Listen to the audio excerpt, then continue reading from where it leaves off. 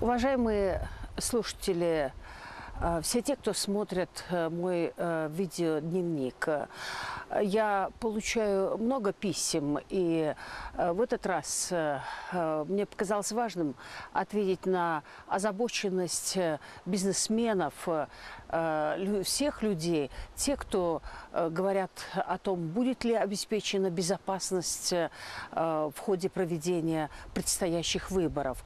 Мы стремительно мчимся э, к концу выборного э, процесса. И э, 10 октября – это день самый важный во всей выборной кампании. Э, Правительство, власти э, усиленно работают э, над тем, э, как э, обеспечить безопасность. Это э, один из самых главных вопросов э, нынешних выборов. Э, Мы э, можем сказать, что э, работа идет э, м, удовлетворительно, хорошо идет работа.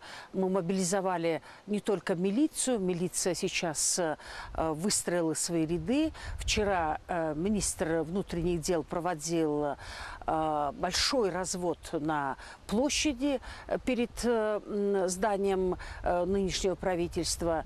И э, мы увидели, что есть боевая готовность э, милиции. Э, Туда же были приглашены э, такие же э, офицеры, как те, кто работает в таможне, в финполиции. Все они будут задействованы для сохранения безопасности республики.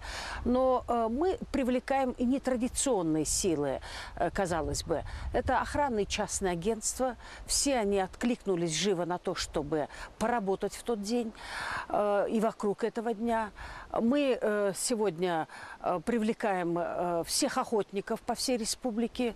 Э, Мы привлекаем также э, всех э, таксистов, которые будут э, на связи с милицией для того, чтобы известить, если где-то э, какой-то ЧП. Э, У нас будет налажена оперативная связь. Э, По всей стране э, будут э, работать народные дружинники. В Чуйской области и в Бишкеке работа идет хорошо, спора, и такого же результата мы хотим добиться на юге.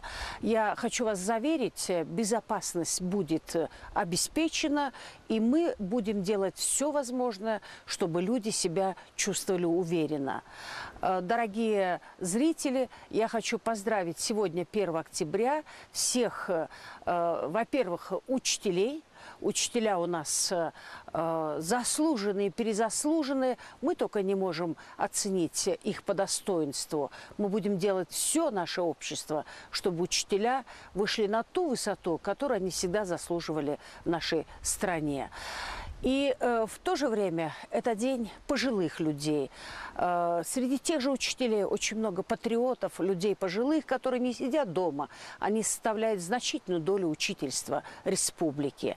И э, среди пожилых людей должна отметить, что мы сегодня, 1 октября, так символично, мы э, будем отмечать 90-летие нашего очень заслуженного человека страны Кулипы Кондучаловны, э, Кондучаловой. Э, она, э, ей исполняется 90 лет, она 22 года работала на Ниве культуры и искусства в Кыргызстане. Это первая министр культуры, э, это женщина, министр иностранных дел, это женщина одна из первых, кто стоял у истоков государственности Кыргызстана. Всех вас сердечно поздравляю, долгих лет вам жизни и крепкого здоровья.